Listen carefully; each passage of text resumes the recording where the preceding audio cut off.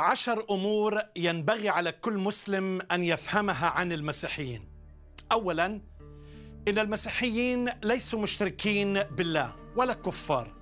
نحن نعبد إله واحد وليس ثلاث آلهة. نؤمن أن الله له وجود ذاتي وناطق بكلمته هذا هو المسيح كلمة الله وحي بروحه.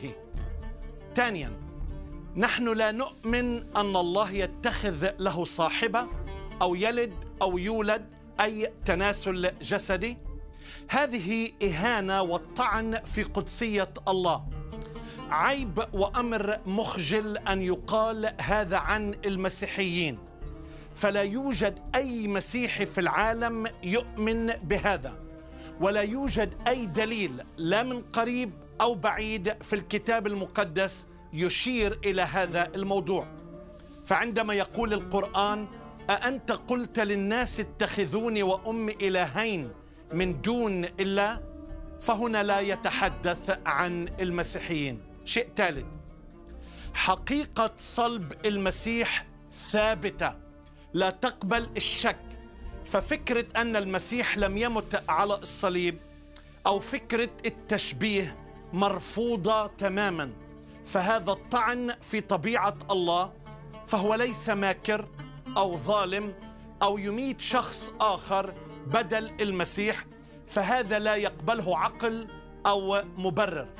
فالمسيح مات على الصليب بدلائل عظيمة في العهد القديم من النبوات والعهد الجديد يتمحور كله حول صلب وموت وقيامة المسيح. شيء رابع المسيح ليس مجرد نبي بل أعظم. فالمسيح هو الطريق الوحيد وهو المخلص الوحيد وليس آخر.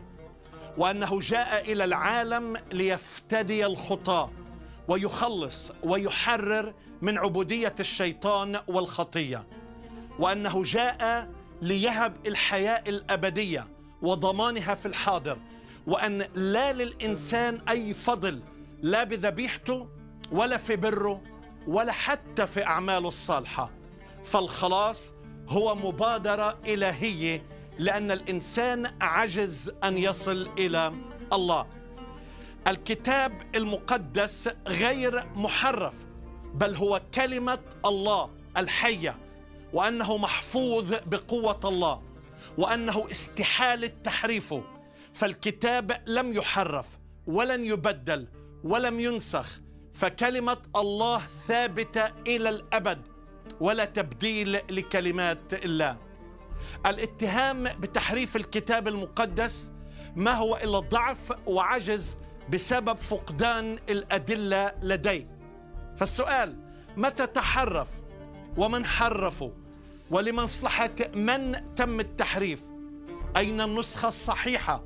وأسئلة كثيرة لا يستطيع أخي المسلم أن يجيب عليها. شيء سادس الفداء والتبرير والتبني هي أساس العقيدة المسيحية. نحن أصبحنا أبناء الله بالتبني على أساس ما فعله المسيح بموت الكفار والبديل فنحن نؤمن بالتبني. ونرفض رفضا تاما فكرة إلغاء التبني. شيء آخر. المحبة هي روح المسيحية وذروتها دين وعقيدة. فالله محبة ويطالبنا بمحبة كل الناس حتى الأعداء. فالمسيح أظهر هذه المحبة وأعلن عنها بل قال ليس لأحد حب أعظم من هذا أن يضع أحد نفسه لأجل أحبائه. فالمحبة تعبير عن كمال الله في الصفات والمحبة هي ما تميز أتباع المسيح. شيء ثامن أخلاقيات المسيحي مستمدة من المسيح نفسه. فكل مسيحي يتطلع أن يصبح مثل المسيح في المثال في الكمال. في الرحمه والقداسة والمحبة وكل مسيحي يسعى لكي يتشبه بقائده المسيح في المحبة والطهارة والقداسة والاستقامة والسلوك والسلام وأن نطبق القانون الذهبي للمسيح. فكل ما تريدون أن يفعل الناس بكم افعلوا هكذا أنتم أيضا بهم. حقيقة أخرى إن المرأة ليست ناقصة عقل ودين بل مساوية ومعادلة للرجل فهي ليست أقل أو أعلى منه. وأن الزواج هو عهد وليس عقد فالله هو الشاهد وهذا العهد مبني على المحبة. فالله هو الذي يجمع والإنسان لا يستطيع أن يفرق. الزواج مقدس لا ينحل ولا ينقض وإلا يكون مخالفا لوصية الله مباشرة. والزواج ينبغي أن يكون من امرأة واحدة وليس من عدة نساء.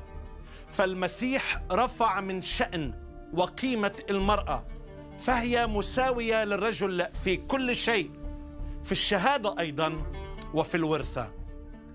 أخيرا أحبائي دم الإنسان مقدس جدا في المسيحية. فهو مخلوق على صورة الله الأدبية والروحية. فالمسيحي لا يحمل السيف ولا يتعامل بالشر أو الانتقام. وإن الحياة المسيحية مقدسة جدا في نظر الله.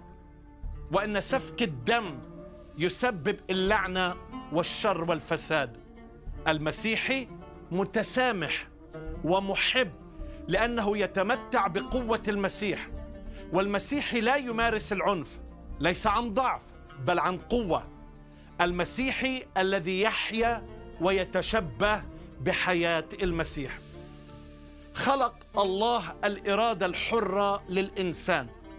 وعلى كل واحد أن يختار طريقه. فالمسيحي لا يقتل المرتد. ولا يمنع من تغيير ديانته الذي يختارها سواء في الأوراق الدينية أو الحكومية. لأن المسيحية ليست ضعيفة بل قوية. عدم تغيير الاسم أو الديانة ما هو إلا تعبير عن القهر والخوف. من فضلك عندما تسمع هذا لا ترجع تتهمنا زورا أو باطلا. صلاتي أن يعلن لك المسيح عن ذاته لتتمتع بهذا الشخص العجيب الفريد له كل المجد وتختبر خلاصه ومحبته والحياة الأبدية.